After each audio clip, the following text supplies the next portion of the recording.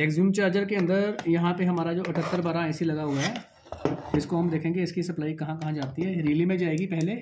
Relay को on करने के लिए देखेंगे यहाँ अठहत्तर बारह से डायरेक्ट लीव करेगी। देखिए।